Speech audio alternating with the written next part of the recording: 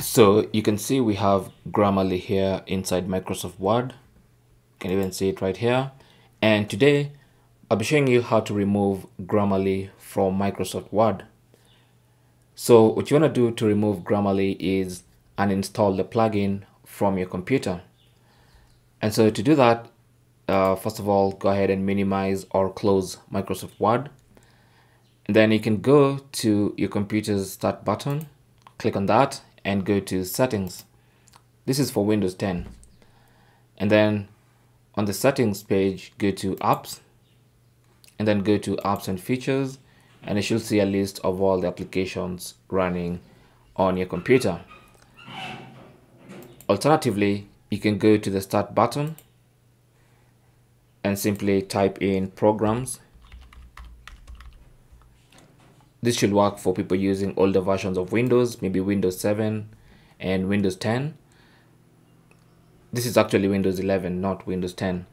So either way, you're going to see a list of all applications installed on your computer.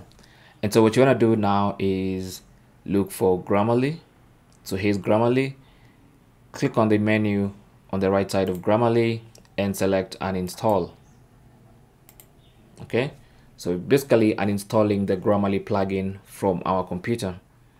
So are you sure you want to remove Grammarly for Microsoft Office? Yes. So click on yes and then uh, close the Word document as uh, requested here. So let's go ahead and close that.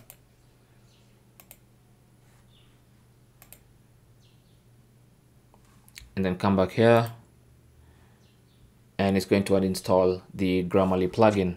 It's going to ask you to take a moment and let us know why you're having to uninstall Grammarly. Let's just click on finish. And that's it. We have now uninstalled Grammarly from our computer. So if you launch Microsoft Word once again,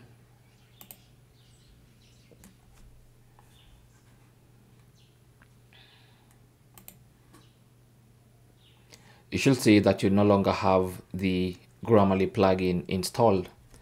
And it's as simple as that. That's basically how you can install or remove Grammarly from Microsoft Word. Thanks for watching. Leave your comments and questions down below and good luck.